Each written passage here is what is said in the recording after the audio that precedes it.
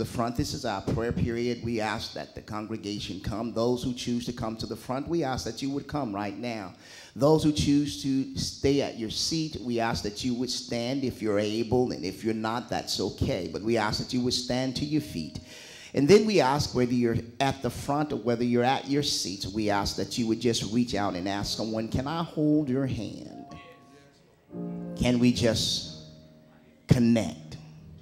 For it is a demonstration that each time that we come to the Lord's house, and as we hold each other's hand, it is a demonstration that we are one in Christ. We're connected as the body, regardless of where we live, regardless of what we've gone through regardless of what our status is in life. When we come to the Lord's house, we pray that all that is put aside because we declare that we are brothers and sisters in Jesus the Christ. And it is His Holy Spirit that unites us. It is His Holy Spirit that binds us together so that we will know that we're not walking this journey alone. So it's in this spirit that we ask that we continue to connect. And if you're not saved, I want you to know that God desires that you be saved. That means that you be rescued from the penalty and the power of sin, that you receive his eternal life. And so, with bowed heads and lifted up hearts, let us pray. Dear God, we come now and we adore you, we honor and praise you. Because we've come to realize that you're God. We come to acknowledge your sovereignty. We come to acknowledge your power, your presence.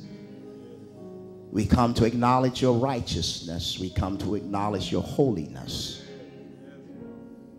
we come to acknowledge your goodness, your love, and your mercy. We acknowledge, oh Heavenly Father, that you loved us so much that you came down through 42 generations in the person of Jesus the Christ to save us from our sins. So we acknowledge you as our Redeemer, as our Savior, as our Lord. And then, Lord, once you, through Jesus Christ, completed the mission on Calvary and you raised him in three days and you ascended to sit on the right hand throne of the Father, you, you sent your Holy Spirit to preside, to empower, to indwell every believer in Jesus the Christ. To help us, oh Heavenly Father, in times of difficulties, to help us in times of uh, hardship, to help us when we are not able to help ourselves. Lord, we come acknowledging the Holy Spirit as our enabler, as our helper, as our presider. Now, Lord, we come and we know that there are those who are coming with heavy hearts. Some are coming with joyous hearts some are coming with uncertainty, some are coming with insecurity, and there are those who are coming with boldness and coming with courageousness. There are those who are coming, oh Heavenly Father, walking through the valley of the shadow of death. And there are those that you've brought through the shadow of the valley of the valley of the shadow of death. But however we come, we come. Bowed heads and lifted up hearts. Because we know, Heavenly Father, your word says that you are God who answers prayers. And we come, oh Heavenly Father, as a collective body of believers in Jesus Christ, lifting our prayers up to you because we know that you exist. We know that you are real. And we know that you hear your children's cry. So, Lord, we come now in we pray that you will forgive us for our sins. Whatever we've said and done throughout last week, whatever we've done and said just this morning, Lord, we ask right now that you forgive us. For we know that you're God who's already done it. And our asking is an expression, it's our way of communicating that we believe that it's done. And we believe what you have done. And we believe who you've done it through. So we just come saying, Forgive us. Have mercy. Have mercy on us. Now, Lord, we ask that you will continue to, to bless those hands that are being held right now. Bless them with health and strength. Bless them with peace that surpasses all understanding. Bless them with your presence. Bless them with your power. Bless them with your patience. And those who are not connected, oh Heavenly Father, but their hands are being held, bless them with salvation. That they will come, oh Heavenly Father, to, to open up their hearts and their mind to receive the good news of Jesus Christ. Believe what He's done for them. He died, buried, and was raised from the dead with all power because He, he desired that they be saved they would have eternal life. Bless them right now. Convict their minds and convert their hearts. Compel them to come. Bless those in nursing homes. Bless those at home and sick. Bless those in the radio listening audience, Lord. Bless those in ICUs and CCUs. Bless those who cannot pray for themselves, but we stand in the gap, interceding as you intercede for us.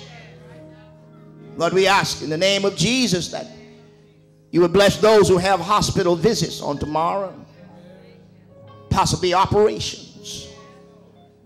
Those who are at home recuperating from operations. Allow them to know, Heavenly Father, that their doctors didn't do it. Their specialists didn't do it. We've come to realize, oh Heavenly Father, that we have appreciation for the specialists and the doctors, the nurses but Lord, we come to realize that you are the great physician. And Lord, you touch where no doctors can touch. You touch where no medicine can touch. Lord, we just keep giving you honor. We give you glory. glory. We, we give you all the praise. Because it's you that works through available vessels. Now bless this church and bless churches all over this United States of America. Unify us as Jesus prayed that his church might be one. Continue, Heavenly Father, to send us who you want us to have and continue to send us what we need. Lord, we thank you for those that are planted here and we pray that you will bloom them. We pray that you will grow them. We pray that you will mature them, that they will come to understand that your purpose exceeds and transcends their plans and purposes. Let them know, Heavenly Father, in your word you said, seek me first. The kingdom of God and his righteousness and all these things will be added unto you. Help us to have kind words one for another. Help us to forgive one another. Help us to love one another. That, that, that this, this, this city, this state, this nation will see you through us desire to become a part of this fellowship. Bless in the name of Jesus. It's in your precious name we ask that you would bless families everywhere, children everywhere, grandparents everywhere. Bless right now in the name of Jesus. It's in your name we lift this prayer up to you. Let every heart and mind say amen. And amen. And amen.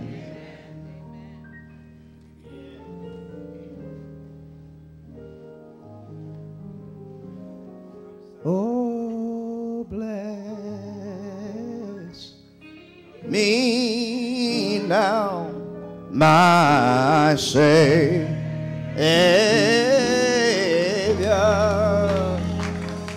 I come. Anybody is coming to him?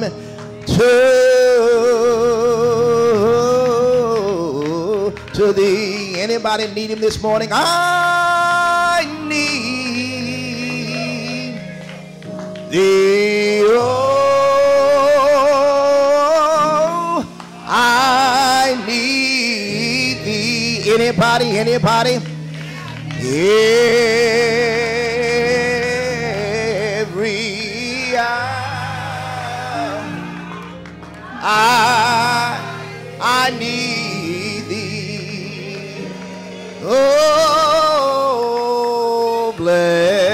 Anybody need him to bless him? Anybody need him to bless her? Now my my Savior.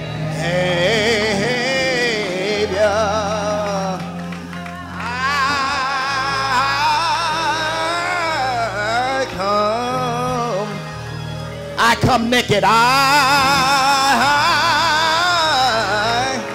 I, I come insecure. I, I come hurt. I, I come downcast. I, I, I come to,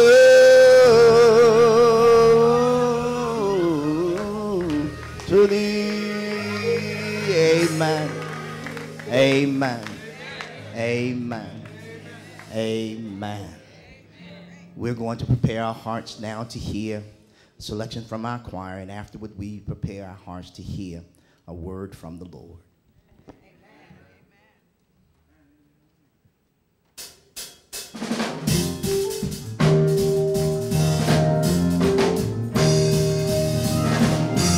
Come on, let's put our hands together. How many come to praise the Lord? Has God been good?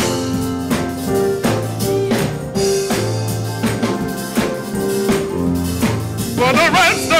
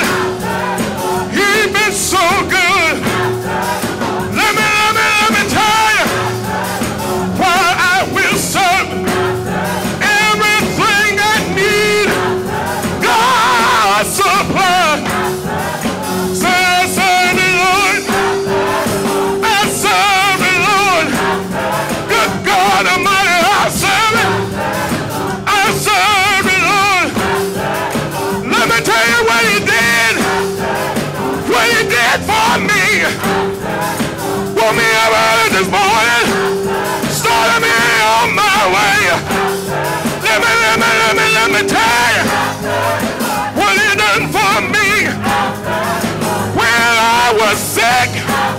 Say, God, hear me. I serve the Lord. I serve the Lord. Anybody out there with something? Anybody out there with something? For the rest, y'all.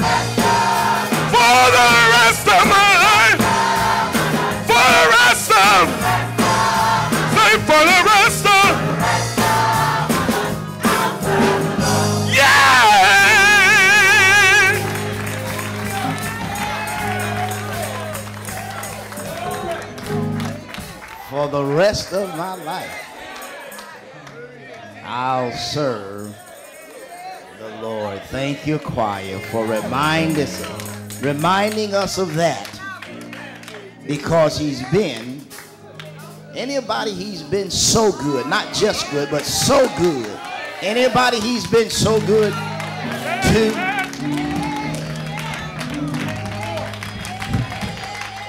So good. Not just good.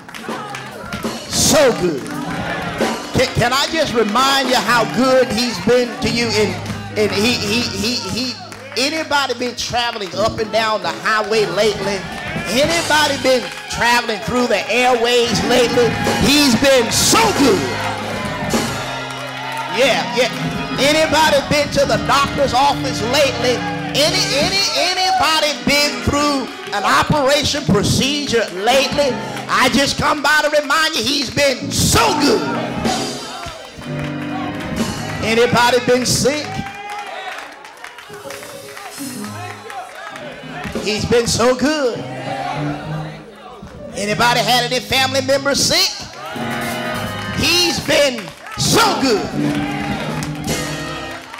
Anybody been employed for a period of time? And he opened up a door that you didn't think he could open up. He's been so good. I'm going to tell you what my, my spiritual father used to say. Pastor Cameron Alexander, when he would go through these litanies, he said, keep sitting there, him. As if he has not done anything. Just, just, just keep on sitting there as if.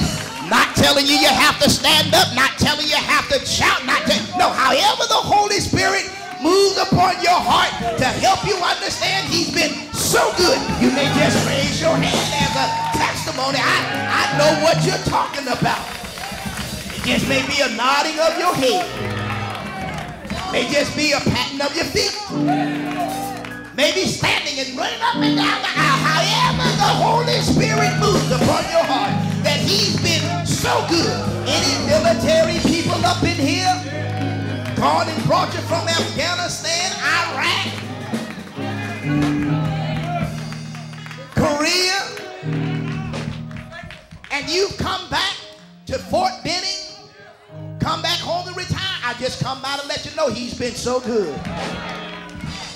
Anybody, he's he's gotten you through the valley of the shadow of death lately. He, he's been so good. Can I just tell you one way that I know he's been so good? He saved my soul. While I was on my way to hell, there's somebody else was on that same train. And because of Jesus, I just come by to tell you he's been so good. yeah, yeah. I'll serve him for the rest. Don't nobody have to beg me for the rest. Don't nobody have to ask me for the rest. When I've come to know how much he loved me, I do it for the love of God through Jesus the Christ. Is there anybody in the house? I've just heard Brother Purdy, he was excited. He was saying, get excited. Amen. See, there are some things that come over the airwaves and come through the newspaper, come through uh, Instagram, come through the chat group, and come through the all of the, the technological advanced uh, things that we have available to, to us through the iPhone, the smartphone, and people get excited about that. Is there anybody in this house? Somebody said for that no, Albany State in Tuskegee is going to be playing over in Phenix City in a classic. Is there anybody in the house? Now I don't know where you hang on that. You know whether it's the Whitewater Classic, we have the Morehouse Tuskegee Classic, we have the Fountain City Classic, and all of that. But there were some excited people about that. Is there anybody in the house? And if I can get excited about a football classic, I ought to be, be excited about Jesus.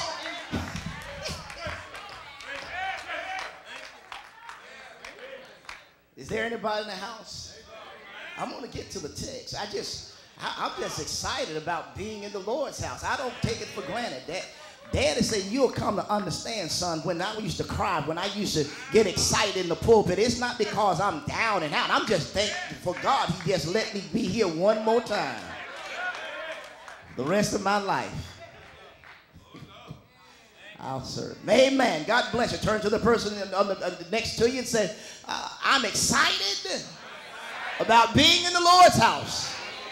One more time. Turn to, him, turn to a person next to you and say, He's been so good to me. Amen. Now, if they didn't say anything to you, that's all right. They may have been expressing it in their heart. Amen. Amen.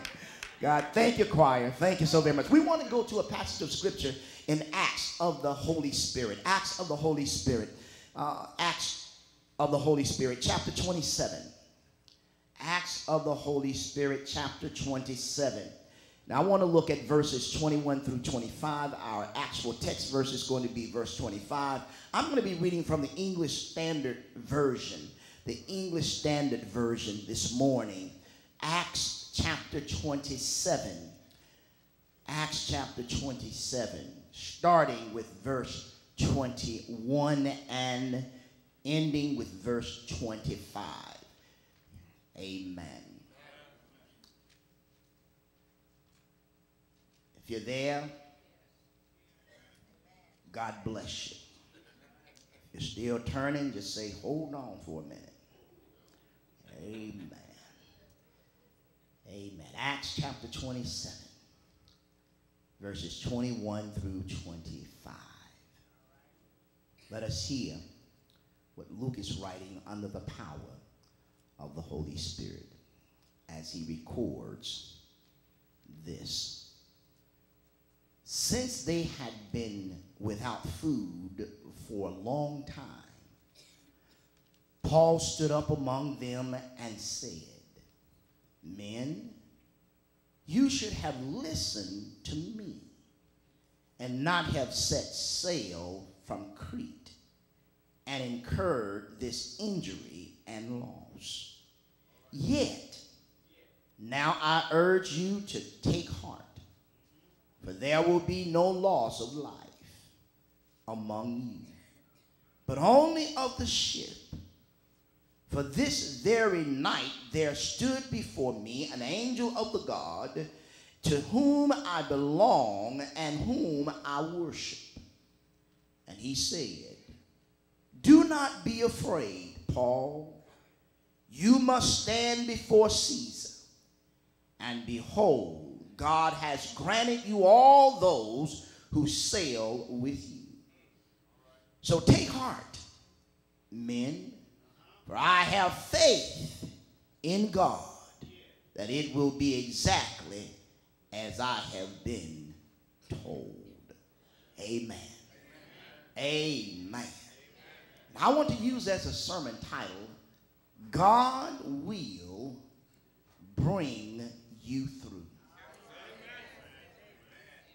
That excited me when I was reading this text. God will bring you through. I don't know what you're going through, and I don't know what you've been through. I don't know what you will go through, but one thing, if you don't get anything out of this message, I pray that you will come to know some things we have to know, and we have to know God will bring you through. On this, on his way to Rome, Paul and 200, approximately 76 others were shipwrecked.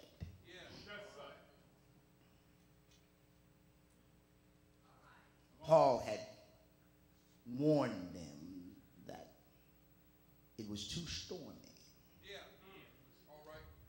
May have not have been the right time to cast sail.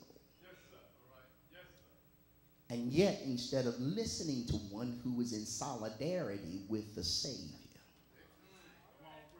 they listened to another voice. Yeah. Yes, sir. To another voice. They said, sail. And my brothers and sisters, there are some lessons that we can learn from this story that God has provided through the writing of Luke. that can really help us when we find ourselves in dark and dire and despaired and disappointing and discouraging situations. Yes, there are some things we need to know as we travel through this, this wilderness here on earth. As we travel as strangers through this, this barren land, as we sail on the sea of life where there will be treacherous storms, there will be tsunamis, there will be all kinds of difficult and challenging situations. And we need to know one biblical fact, and that is God will bring us through. Young people need to know that biblical fact. Children need to know that. Parents need to know that. Grandparents need to know that. They need to know that God will bring us us through. No matter how dark it may seem, God will bring us through. But there are some things that we must surrender to to make sure that that that we are available to what God desires us to to be responsible for in order for us for, in order for him to bring us through so I want to just lift up three points and then we're going to be out. Is that all right? And you ought to just make mental notes or you ought to just write them down. And if you can have, if you can tweet, if you can Instagram, you can even take a picture, selfie as they call it, and just just just send it and hashtag it. God will bring you through. Somebody need to hear that sitting right next to you. Maybe someone need to hear it all around you. Someone in the radio listening audience need to hear. Someone maybe still in bed. Maybe you need to just go ahead and, and just text them and just go ahead and say, God will bring you you through. So you may ask, what is the first lesson, Reverend Flakes? We ought to just learn that we can know from this story that this shipwreck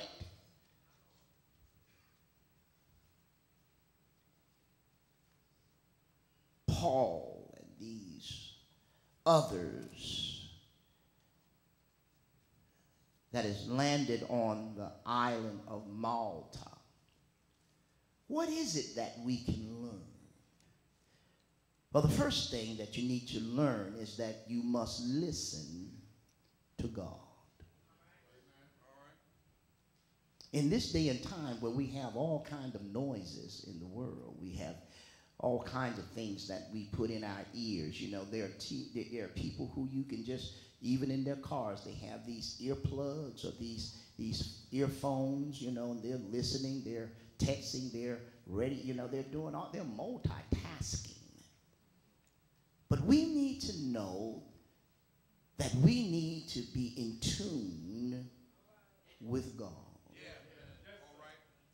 If we don't, we will experience heartache and loss. The reason a lot of people get into problems that they get into because they're listening to everybody else and not listening to God. Sometimes people place more weight, more value in what other people may say, and they may not even be mature Christians. They may say that they are, but they're not mature Christians. And I, you want to know the difference between how you can recognize a mature Christian versus a mature, uh, an immature Christian? They always start off by what they think. This is what I think. This is my opinion. But when one is listening, to God, they want to instruct one to be in tune with what the Word says. What does God word say? And I just come by to tell you that that God is not just and some people just still thinking and you know they just think that God is just just still speaking and you know auditorily and and, and, and they can hear they waiting for this voice to drop down but you have to read hebrew chapter 1 it says god spoke in sundry times and he's still spoken divers in many ways to the to the prophets, meaning he was referencing back to the Old Testament in terms of the various ways and the many ways that God spoke, and he did.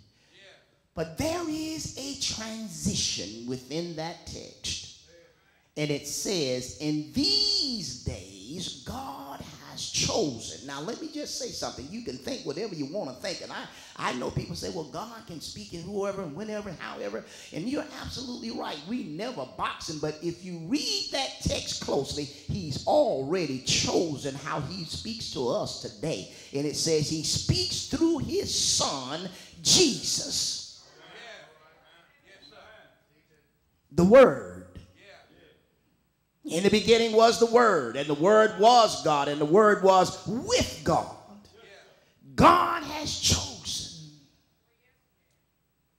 speak through us through His Son. Anything you want to know about God, you need to know about Jesus. He said, I don't do this on my own. I, I do it because the Father has sent me. The Father has told me. Is there anybody in this house? God has left His Word. He has left his Holy Spirit.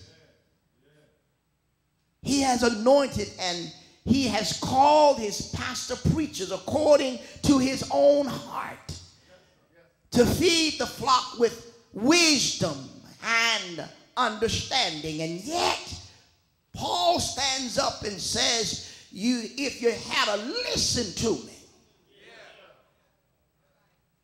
we wouldn't be in the situation that we're in. Paul warned them, men, I can see that our voyage is going to be disastrous and bring great loss. Have you ever told some your children that you need to you need to follow mama and daddy's voice and yet they're listening to somebody outside of the house? Is there anybody in this house you know, maybe you've been speaking to your wife, and maybe your wife has been having other people speak in her ear. Maybe your husband having people speak in his ear. Maybe your sister, your brother been having them speak in their ear. And there comes a time that you need to sit down and say, Lord, guide me. Let me get to a quiet place. Let me turn off the television. Let me put the cell phone down. Let me put everything around me down and let me commune with God. Let me listen to his word. Because every problem that you're going to face, the answer is in the book. Is in the word of God. And sometimes we get so caught up with our feelings, our emotion, that a lot of times we allow our feelings and our emotion to cause us to make choices and decisions that goes against what God is saying. Is there anybody in this house? And God's word never contradict him. Paul says that I tried to warn you. But the centurion, instead of listening to what Paul said, followed the advice of the pilot and the majority decided that we should sail on. You have to be careful with trying to hook up with the majority.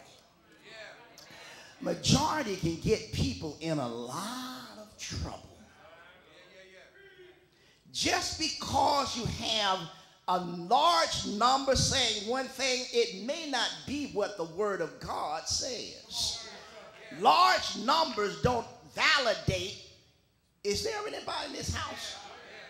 It, it does not validate that this is the right thing to do. You want me to give you an example? There was a majority in the Old Testament. You have to go over to Deuteronomy. You have to read it. Is there anybody in the house? A matter of fact, 12 went out, 10 came back. They saw the same miracle, they saw the same signs that God had performed with the children of Israel, they saw that God opened the Red Sea. Is there anybody in the house? They saw that he led them by cloud by day and fire by night. He, they saw that he fed them when they got hungry. They saw that he gave them water in the middle of a wilderness. They saw the same signs, and yet when they got to the brink, to the mouth of the promised land, God said, send 12 the majority came back and says, we can't take this. Have you heard people in certain people we can't do this and we can't do that? And, and, and you may have, but two may say, yes, we can. We can do it.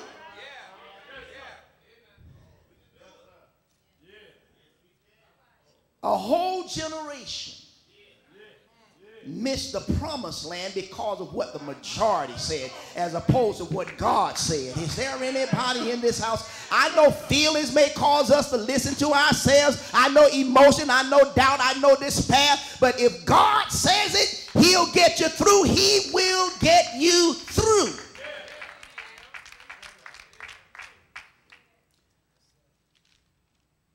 Notice being in the majority doesn't make somebody right. Who are you listening to? Who, who, who are you listening to? Do they know God? Do they know, know God? Let me just drill down a little further. Do they know Jesus? The author and the finisher of our faith. Because a lot of people say they know God, but they don't know Jesus. And I know we are living in a society where we are diverse and, and, and we are plural a plural society. We, we have many different ways they say to get to God, but, but Jesus says, I am the only way now. You, let's get this straight. Don't get this twisted. And I know we've become a very permissive society that we don't want to be perceived as being judgmental, and we don't. Is there anybody in this house? But we do have a discerning spirit. We investigate, we ask, we examine, we audit. Is there anybody in this house? We ask the question, but there comes a time that every one of us has to ask the question Do I truly know Jesus? Who are you listening to? Are they walking by faith or by human reasoning? And oh, my brothers and sisters, I know we're living in a world of intellectualism, and let me just say that uh, Christianity is not an ignorant religion, or it's not a religion, it's a lifestyle. Let me just say that. But there are those who want to make you think that Christianity is not only ignorant, but it's unintelligent. We're indwelt with the most intelligent person you'll ever find, you'll ever encounter, you'll ever come in contact with. His name is the Holy Spirit. He's not ignorant. He's not, come on, somebody. A matter of fact, he's the one that brings discernment. He's the one that brings wisdom. And the Bible says when you are wisdom, you fear God, you reverence God. The fool does not reverence or acknowledge that God is who he say he is. Is there anybody in this house?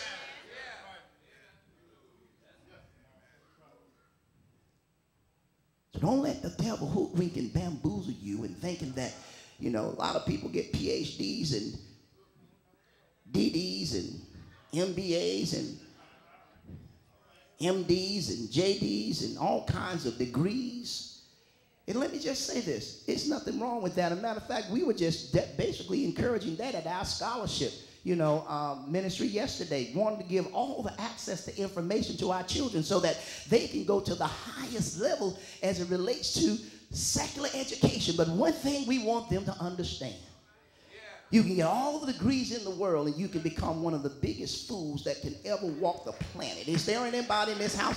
Because if you do not have a BA degree, if you're not born again, Paul says all of this stuff is dung. Is there anybody in this house? He's saying it means absolutely nothing because let me just tell you, all of this is going to pass away. No, we're not saying that you're not to go and get the highest education. You're not to go and basically be equipped but let me just say something. Do not let your education cause you to come to a point to question or either to inauthenticate the word of God, to, to begin to say, I don't see it that way. My education tells me something different. There are atheists out there, they are real. Whenever you don't believe in the word, you don't believe in God, you don't believe in Jesus Christ and the Holy Spirit, you're traveling down a dangerous road. He is real. So Paul says, I tried to warn you, but you wouldn't, wouldn't listen. So I just come by to tell you this morning, God will bring you through. It doesn't matter how dark it look. You may not see the light at the end of the tunnel, but if you're in solidarity with the Savior, you need to understand that He has given you everything that you need to endure, to persist. He's giving you everything you need in order to be able to continue to walk through the valley. He's giving you everything you need to have hope in a hopeless looking situation, you just have to keep your eyes stayed on him and know that God will see you through. You you just you you you must listen to God. Than your feelings, more than your feelings, more than others who may not know the power and the presence and the provision of God. Number two, number two, number two. Not only must you listen to God, but you must understand the purposes of God will always overcome the plans of man, the plans of humanity, the plan of women. You must know that all things work together for good. For those who, what? Love the Lord and are called according to his purpose. Is there anybody in this house? Why have we been called for his purpose? In order for us to be a witness for him. Is there anybody in this house? God can actually make mistakes work for your good.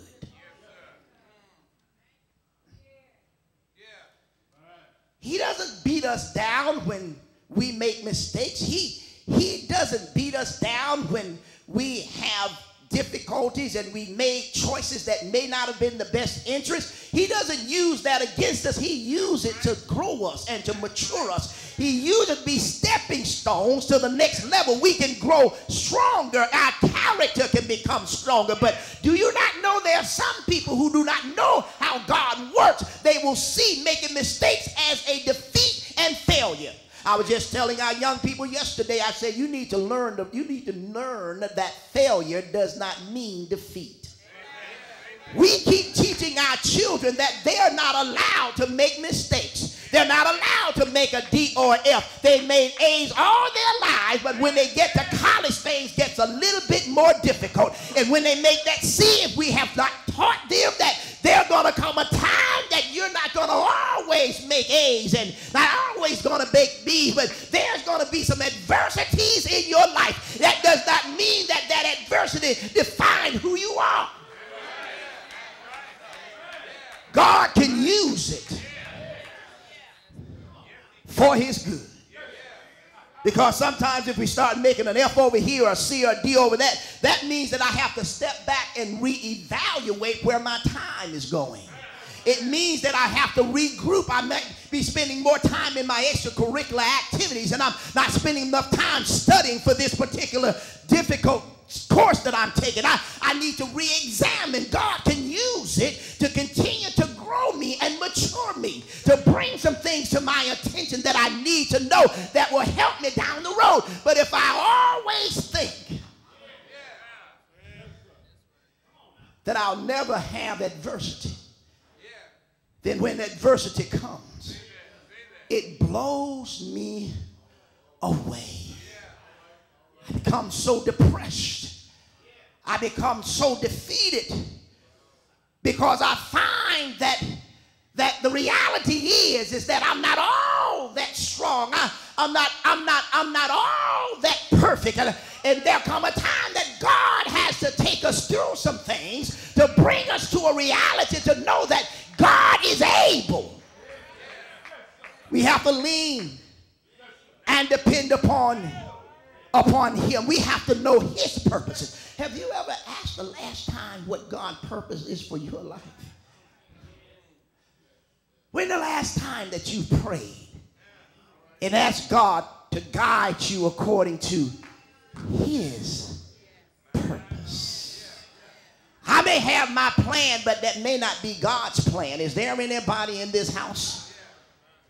Through this shipwreck, Paul landed on Malta, was part of the Roman province of Sicily, and, and introduced the gospel to his people. You never know what God has intended for you. The disciples didn't want Jesus to go through Samaria because they didn't like Samaritans.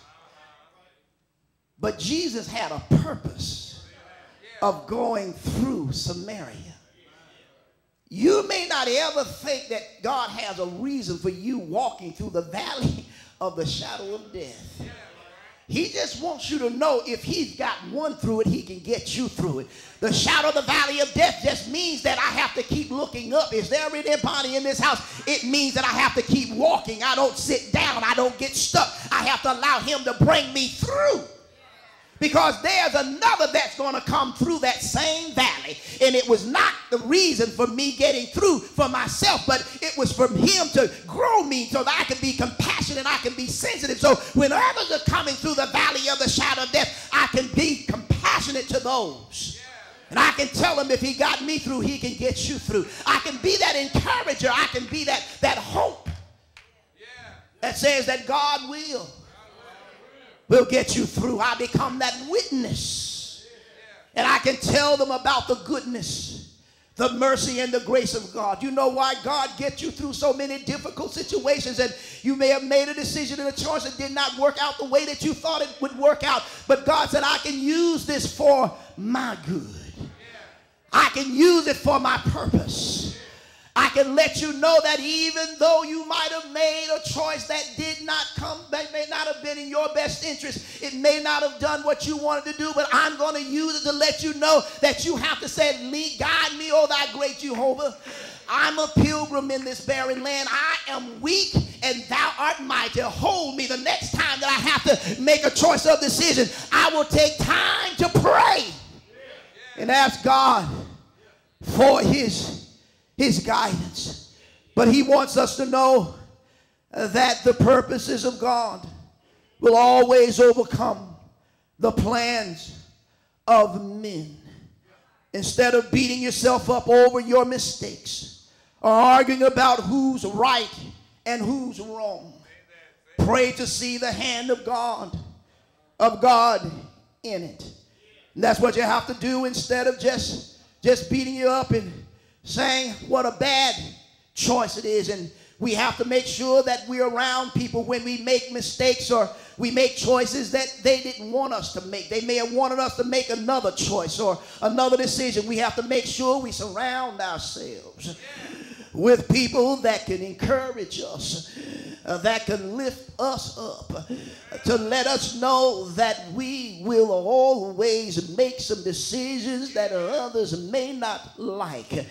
We may make some decisions that we may not like, uh, but we don't beat ourselves up. We don't keep calling ourselves stupid. We don't keep calling ourselves crazy. We don't keep calling ourselves this or that. Because when we keep doing that, the Bible says Satan has come to kill, steal, and uh, destroy. And I just come by to tell you whenever you're so critical of yourself, whenever you keep putting yourself down, you have basically you've engaged in what Satan's mission and plan is. If he can ever cause you to doubt yourself, if he can ever cause you to doubt God, uh, then he will will cause you to isolate. He'll cause you to go into a place where no one can you. He'll cause you to hide in a cave because you're intimidated by the circumstances. He'll cause you to not want to engage in relationships anymore. And I just come by to tell you that you ought to give yourself a break because let me tell you, God gives you breaks. It's called His mercy and His grace. He continued to give you unconditional love. And I just come by to tell you that you ought to know uh, that in every situation, uh, as a child of God, uh, He has a purpose that's in it. So you need to continue to ask the question, Lord, what do you want me to learn through this? Lord, what are you trying to teach me? And I just come by to tell you maybe his purpose is to teach you some patience. Maybe his purpose is to teach you some peace. Maybe his purpose is to let you come to understand the realness of the Holy Spirit. Maybe his purpose is that you become a witness for him. He's already said that I want you to be a witness. And when the Holy Spirit come upon you, then you'll go to Jerusalem, you'll go to Judea, you'll go to Samaria and the uttermost parts of the world. And God wants to use you. He wants to use your situation for his good, for his purpose. Because when somebody asks you, uh, how did you get through this? Uh, uh, how did you get through that? You can tell them it was God who brought me through. It was not myself. It was not my intelligence.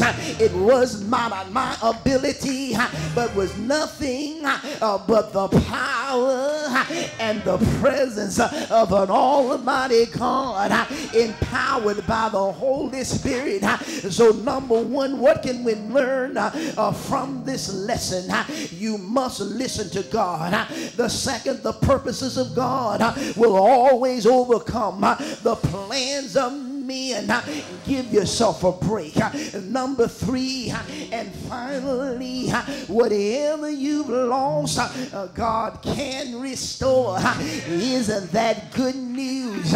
You ought to look at this. It began to pick up. It says the people of Malta honored us. You'll find it in Acts 28 and verse number 10. It says the people of Malta honored us in many ways. Uh, and when we were ready to sail, uh, they furnished us uh, with the supplies that we needed. I just come by to tell you that God will restore unto you that which was lost.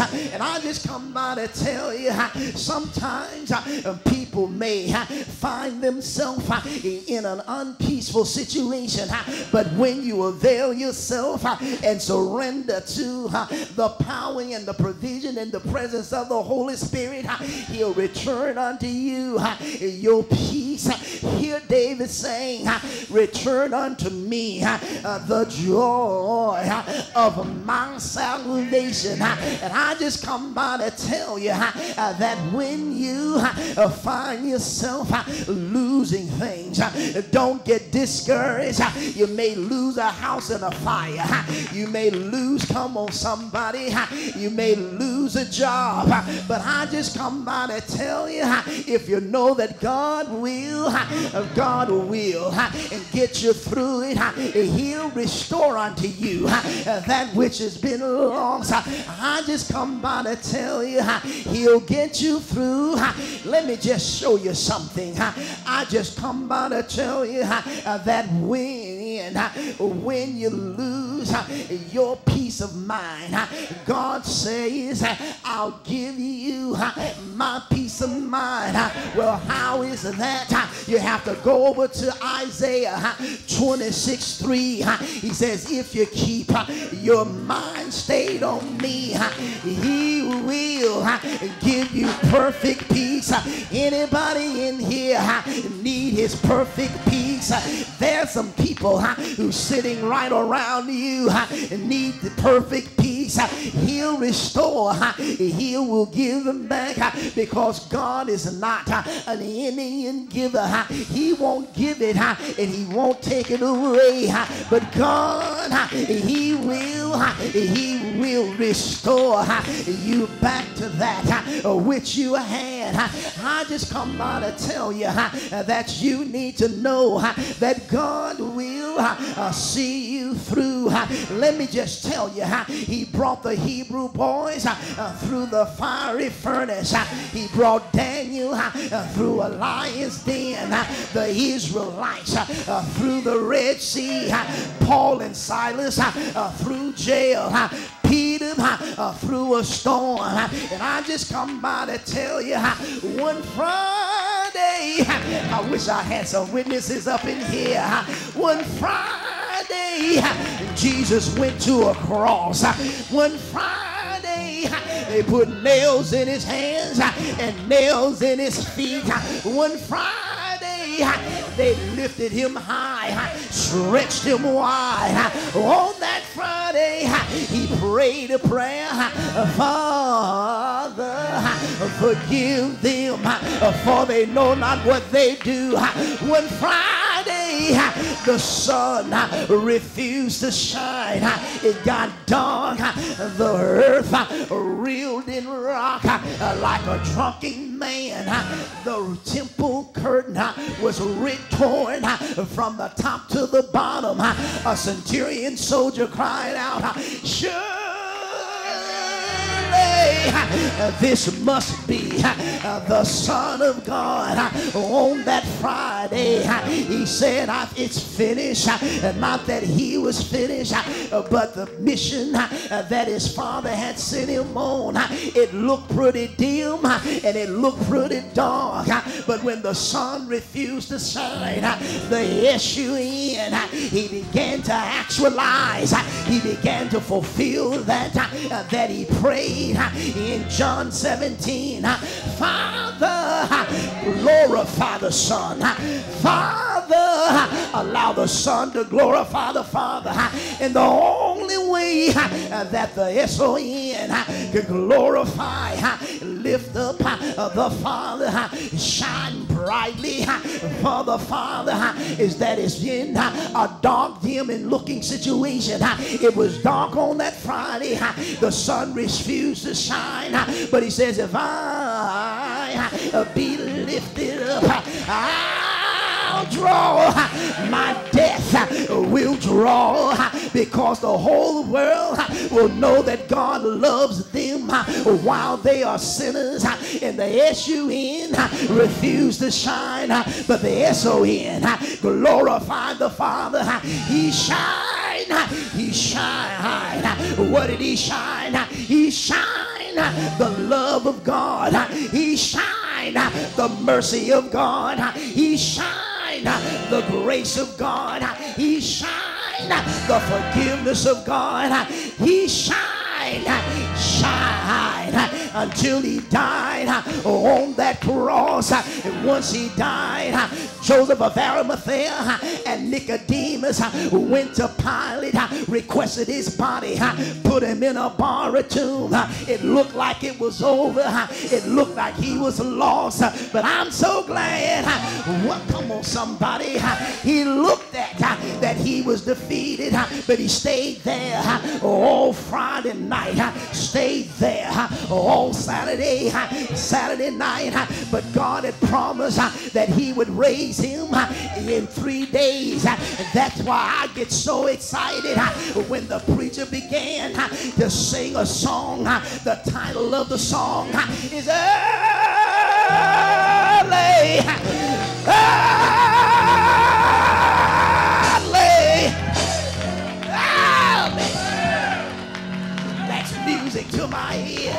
early, early, early, Sunday morning, he was raised from the dead with all power, all power, all power, resurrection power, reconciliation power, restoring power, eternal life power, forgiving power, loving power, saving power, all power in his hands in heaven and in earth. God promises true. What God says he'll do, he will do. If he says he'll bring you through, won't he bring you through? Is there anybody in here who knows what I'm talking about? However the Holy Spirit moves you, if he moves you to say amen, you ought to say amen. If he to stand on your feet, you ought to stand on your feet. If he moves you just wave your hand, you ought to wave your hand. If he moves you just nod your head, you ought to nod your head. If he moves you just shed a tear, you ought to shed a tear because you've come to truly understand God will, God will see me through. Is there anybody in here who knows what I'm talking about? You know what I'm talking about. Say amen. Amen. Hey, hey, hey, amen. Amen. I know he'll see you through. He saw me through when I was two years old. The doctor didn't know if I was going to live uh, through midnight. But I'm so glad that I had somebody, my mama and my daddy and my grandmama in 4th Street, Good Hope, and others were praying for me. Mama Jessie was praying for me because I could not pray for myself. And I'm a living testimony that God saw me through. Yay!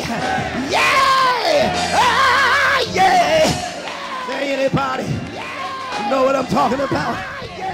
He saved my soul. He's made me whole. He's one of these old days. He's gonna call my name. But I'm glad that he'll see me through. I don't have a doubt.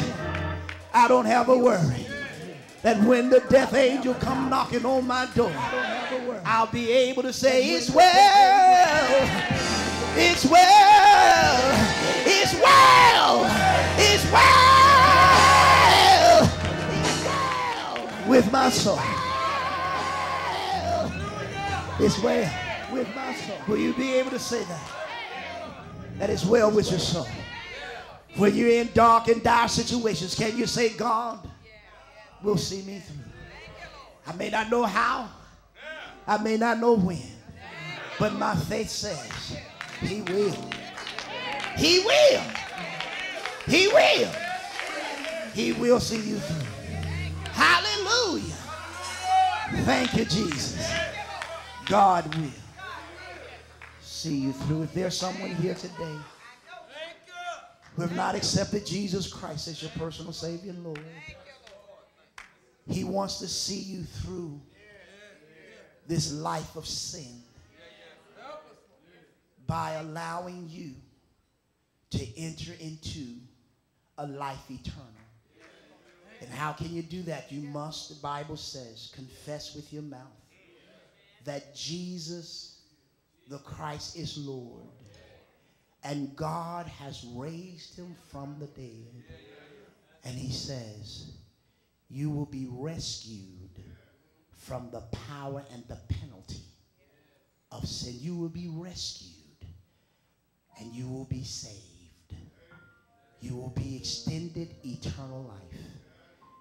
And you will be indwelt with his Holy Spirit until he calls you home. You have a helper to see you through. You may be here and maybe you said that I really don't believe that.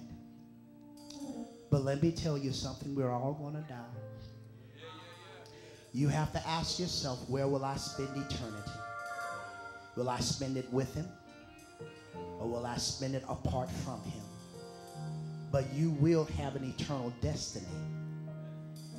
The only way that you can spend it with him is that you must believe that for God so loved the world that he gave his only begotten son that whosoever believe it didn't say have to feel or understand just believe shall not perish but have eternal life. If you're here today i want to ask you if you would step out right now and give yourself away receive his will transfer your will for his will. Surrender your will for his will. In the name of Jesus, you ought to come today unashamed, unembarrassed. His arms are wide open to receive you because he wants you to get through this life with peace, with joy. Wants you to get through this life with His protection, with His love and His grace and His mercy, that you may be an example, you may be a witness to others, that He can draw through you. Don't allow other voices to speak to you to keep you from receiving that which He has already given don't allow your fear, don't allow your doubt, don't allow your apprehension, don't allow your even your intelligence to cause you to deny